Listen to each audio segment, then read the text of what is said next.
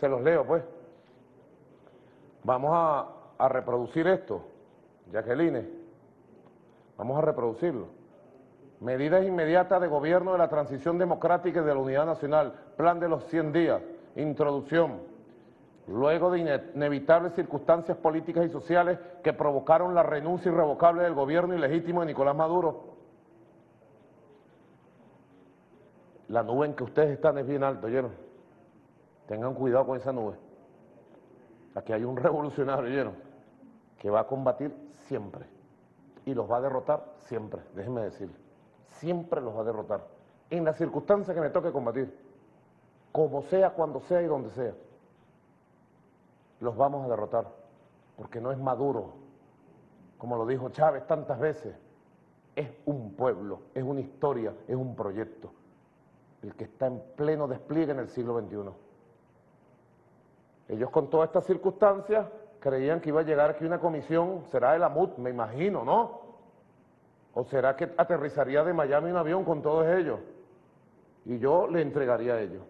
Me imagino, ¿verdad? De acuerdo a lo que ellos dicen en el video y dicen en su plan. Estas medidas están también en el juicio aceptadas por los conjurados. En este marco histórico, consecuencia de tal, tal cosa, bajo el amparo de los artículos, doctor Tarek, 51 y 350 de la Constitución, el Tribunal Supremo de Justicia debe nombrar una Junta de Gobierno Nacional para la Transición Democrática. Esta Junta deberá ser conformada por ciudadanos representantes de la sociedad venezolana, legitimados por fuerzas sociales a las que representan entre estos se convocan, dicen ellos, se convocan, la palabra que utiliza este señor en su comunicado. Se convoca a representantes de los partidos políticos de la Unidad Democrática, dicen ellos aquí, no lo digo yo, y otras organizaciones políticas que reconozcan el periodo de transición democrática, transición, transición, de la Iglesia Católica, dicen ellos, no lo digo yo. Hoy hubo unas buenas declaraciones de camarada Cardenal Urosa, oponiéndose a cualquier golpe de Estado. Gracias, cardenal. Las leí por ahí, no las leí completas, leí un pedacito, pero el titular era bueno, camarada. Yo me puse el anillo urosa aquí, ¿te acuerdas, Silvia? Cuando nombraron cardenal allá en, en la ¿cómo se llama? En el Vaticano, allí en la Basílica de San Pedro, de San Pietro, me lo puse aquí, el anillo de cardenal, cardenal Urosa. Saludo al cardenal a la Iglesia Católica, a las universidades, a los gremios profesionales y empresariales, a los militares en situación de retiro con alto prestigio en la FAN, FAN sin B, de Bolívar, a intelectuales, artistas y representantes de la sociedad civil. Esta Junta de Gobierno Nacional para la Transición Democrática dictará las siguientes medidas de carácter excepcional en las tres agendas de acciones concretas las cuales son el resultado de la valiosa colaboración de distintos sectores que conforman esta Junta. Ya ellos dicen que tienen el plan. Esta Junta de Gobierno Nacional para la Transición Democrática tendrá una vigencia de 90 días, pudiendo ser prorrogable por 90 días más. Yo no sé por quién.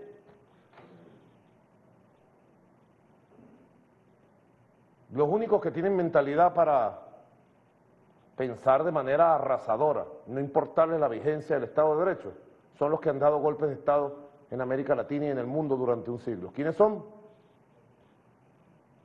El Imperio del Norte. Son los únicos que piensan así. No les importa nada.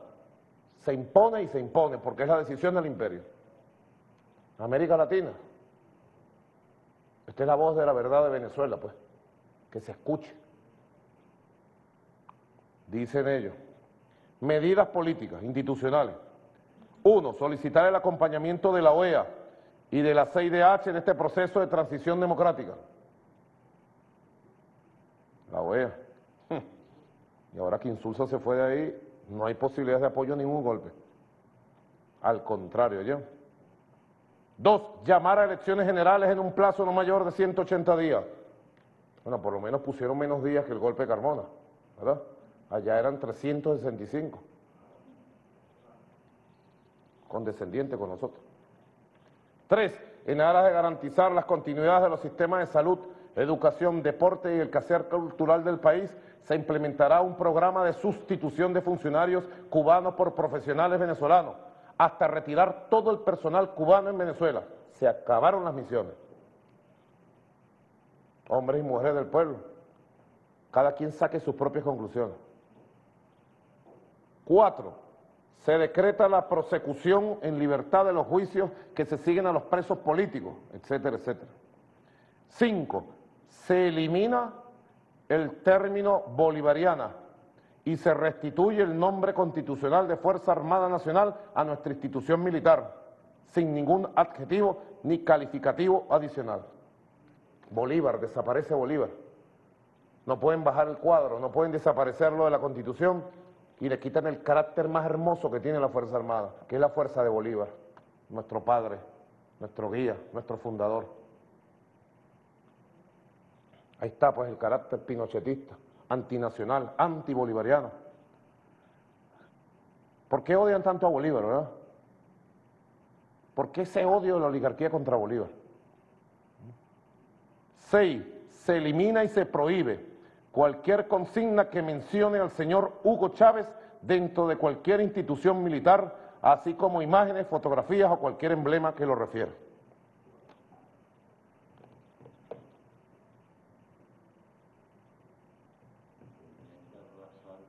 No sé qué irán a hacer, ¿verdad?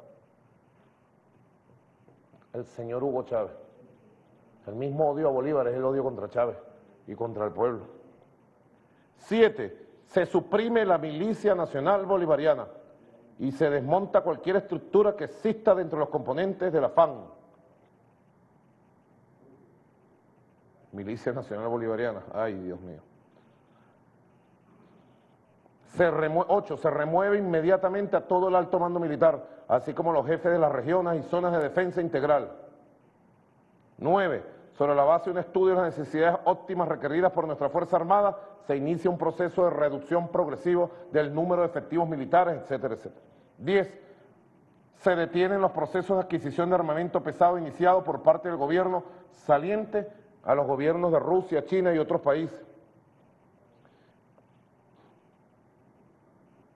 13. Imponer, voy a leer exacto como lo dice, imponer por la vía que fuese necesaria la desmovilización, neutralización y entrega de sus armas a los colectivos afectos al régimen saliente, so pena de tomar las vías más severas contra ellos en caso de desconocer este llamado. Es la misma operación de los círculos bolivarianos, ¿se acuerdan? la campaña de los círculos para después, cuando dieron el golpe, masacrar al pueblo. Es igual. Ahora todo lo que es pueblo organizado, consejos comunales, comunas, VC, CLP, pueblo bolivariano, son colectivos. Y como pasa en otras realidades, el que se mueve y es colectivo, dale. Decretan la pena de muerte contra el pueblo organizado decretan la pena de muerte contra el pueblo bolivariano, contra el pueblo de Chávez. En otro orden de medida, para atender la emergencia social y los sectores vulnerables.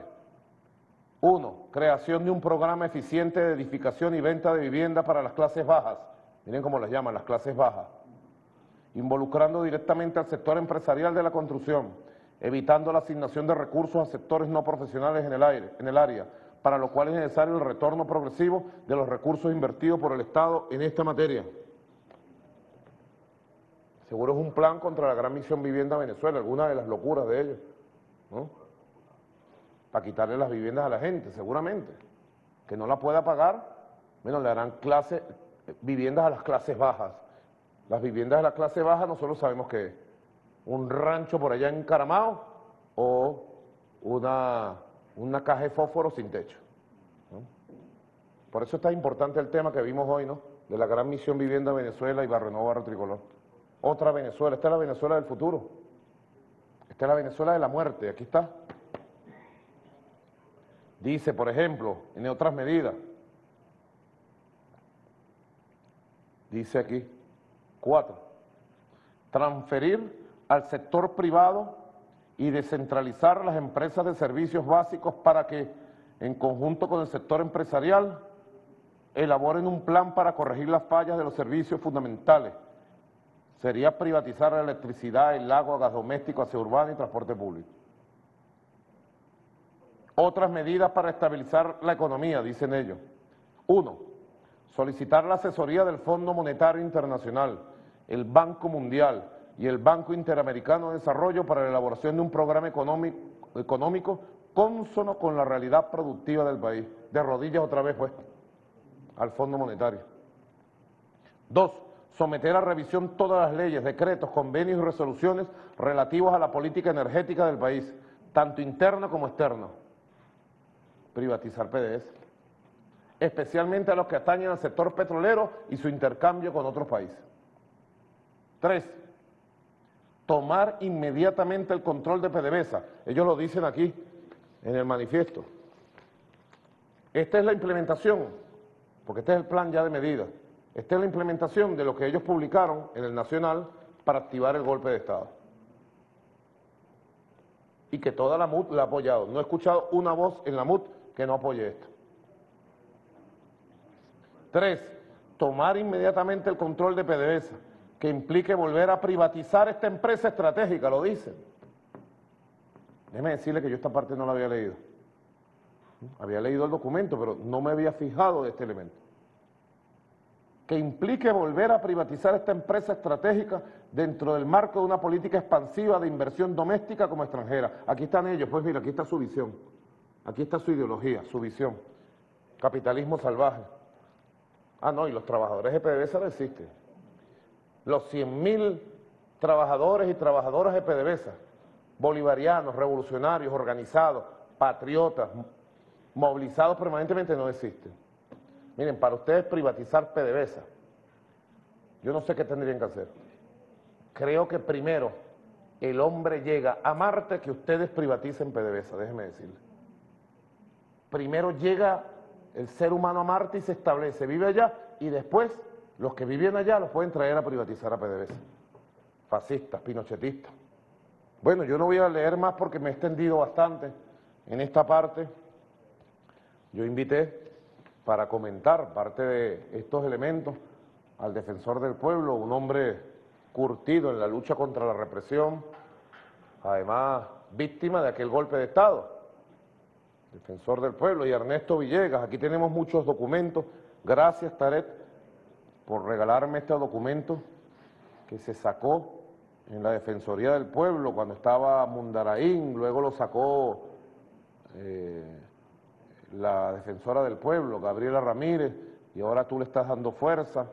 Este documento trae todos los elementos del golpe de Estado. Pareciera un guion repetido.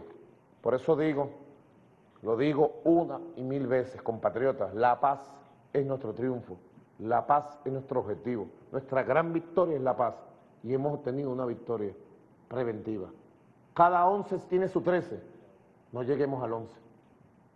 No lleguemos al 11. No más 11 de abril. Más nunca. Más nunca. Paz. Paz y democracia. Y trabajemos para eso. Eso sí, la única forma de conseguir la paz es con la justicia. Mano de hierro. Mano de hierro. Pido el apoyo de todo el pueblo, de todo, de toda Venezuela. Que no haya intocables en Venezuela. No me importa lo que digan en el mundo. No me importa lo que diga la derecha mundial. Lo que me importa es la paz, la felicidad y la prosperidad de Venezuela. Mano de hierro. Que caiga quien tenga que caer, llámese como se llame, tenga el cargo que tenga. Punto.